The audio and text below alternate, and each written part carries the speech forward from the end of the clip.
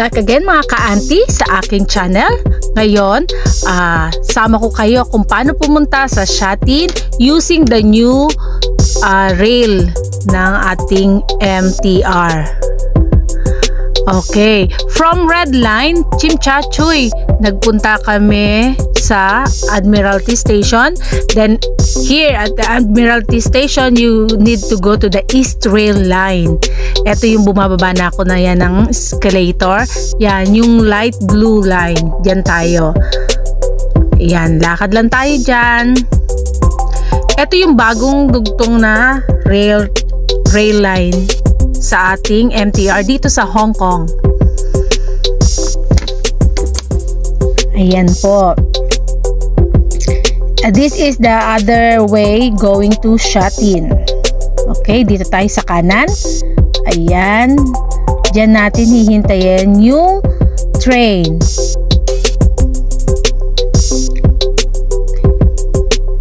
Ayan. Daming tao.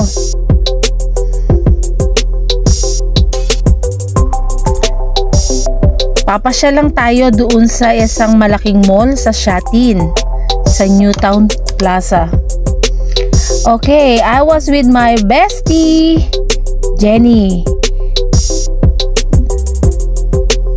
Nag-drop by siya dito sa Hong Kong for 6 days at celebrated my birthday with me.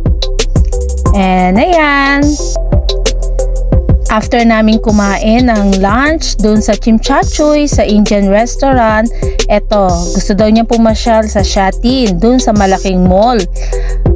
Ayun nga, hindi ko naman naisip na sa Newtown Plaza niya pala gustong pumunta. At gusto daw niya pumunta dun sa isang display doon at hindi ko rin naman alam na iyon ay ang Snoopy World. Oh, yan. Nandiyan kami sa loob ng train. Standing lang kasi ang daming tao. Okay, after 6 days, she will go to Frankfurt.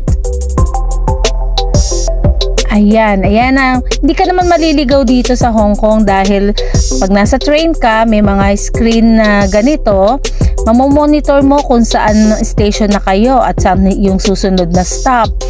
So, basta alam mo kung saan ka bababa, makikita mo kung it's time na para sa iyong pag-exit. At ayan, exit na kami sa Shatin Station. Ayan, Shatin. Yan, daming tao guys. And then, yan, punta lang tayo sa exit.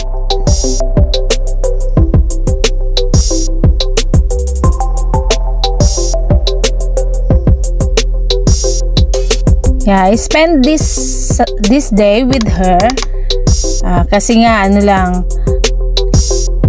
last May uh, nag for good na siya sa nag for good na siya sa pagiging uh, helper. I mean nag for good na siya sa Pinas or nag stop na siya sa pagiging OFW she go back to Philippines last May 2022 and then she go to Czech Republic and after three months she come back again and then now uh, she need to go back again there and then she drop here drop by here in Hong Kong for 6 days.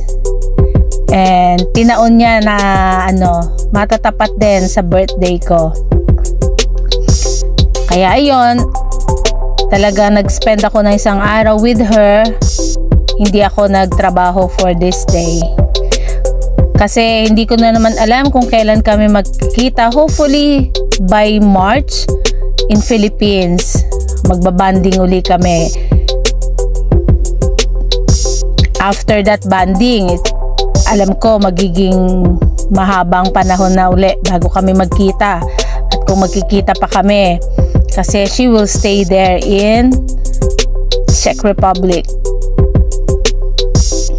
Uh, there you go. Uh, ayan, akyat lang kami sa exit. Ang tagal namin naka, ano, dahil pinauna namin yung mga taong uma, mauna sa amin kasi sobrang dami nila. So, sobrang crowded. Ayan lang, gusto ko lang kayo isama for this day. Uh, na kung gusto niyo pumunta sa Shatin uh, using the train, train line, you will use the East Rail line, the light blue.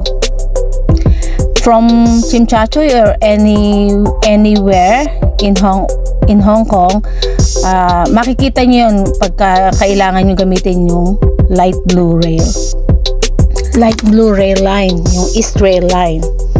Ayan, dito ang, ang mga stations ng train is may mga may mga ano bilihan. Yan. Yung madalas puro bilihan ng pagkain or ano pero minsan may mga souvenir items din na mabibili or food food na mag-grab nyo na makakain right away yung mga ganyan. Yan ang makikita nyo sa mga train station dito. Ayan, mag-exit na tayo dito. Nandito na tayo sa Shatin Station.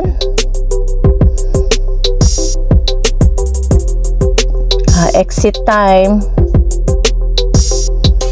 Yan.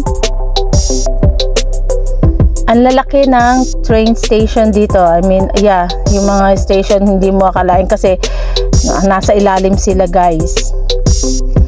Ayan na po at uh, marami tao talaga. Ayan oh. MTR Shuttle Station. Yan.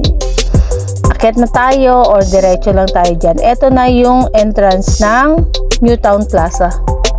Kadugtong na siya ng, ano, ng MTR para accessible na sa mga tao.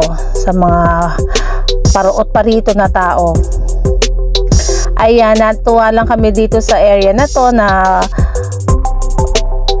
may display na ganyan para sa mga kids uh, napaka-cute ng lobo. Kaya napa napa-stop napa-stop by kami at ano, picture ng konti. Ayan. Picture lang si Aling Amay. Uh, 'di ba? Daming tao talaga. Ayan, si Jenny. Meet my friend, my bestie. We've been friends for 6 years already.